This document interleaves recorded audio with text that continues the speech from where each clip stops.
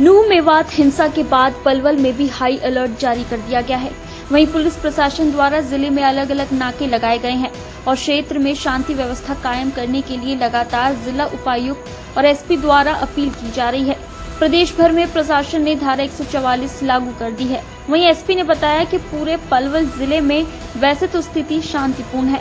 कई जगह से कुछ छोटी मोटी घटनाएँ निकलकर सामने आई है, जिसको लेकर 10 एफआईआर भी दर्ज की गई है और कुछ शरारती तत्व युवकों को हिरासत में भी लिया गया है। हाँ यहाँ पर हमने पूरा डिप्लॉयमेंट कर रखा है। कुछ लोग इकट्ठा हुए थे, उनको खदेड़ दिया गया है। और जैसा कि आप देख सकते हैं, सभी डीएसपी और हम फोर्स लेके पेट्रोलिंग कर रहे हैं। शांति व्यवस्था बनी हुई है और लगातार हमारी जो पेट्रोलिंग पार्टी है, वो गश्त कर रही है। सभी की हमारी तरफ़ से अपील है, किसी भी अफवाह पर ध्यान न दें और अपने घरों पर ही रहें। ठीक है पुलिस अपना काम कर रही है।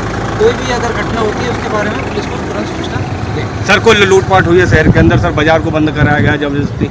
नहीं देखिए बाज़ार बंद है और ऑलरेडी जैसे कि 144 की धारा हमारी लगी हुई है और सारे हमारे प्राइवेट और सरकारी संस्थान बंद है। एहतियात के तौर पे इंटरनेट बंद किया गया है और वहाँ पे हमारी टीम अभी वहाँ पे सभी जगह जो कुछ लोग घूम रहे थे उनको वहाँ पे उनको खदेड़ कर आई है और वहाँ पर अभी स्थिति सामान्य है और यहाँ पर भी जैसा देख सकते हैं कि अभी हम सब लोग पेट्रोलिंग में। प्रशासन का कहना है कि पुलिस पूरी तरह से सुरक्षा व्यवस्था संभालने में कोई भी कोताही नहीं बरत रही है।